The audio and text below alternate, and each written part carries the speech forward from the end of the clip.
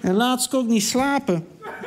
En toen dacht ik, nou, dat is me goed ook. Ik ben auto aan het rijden.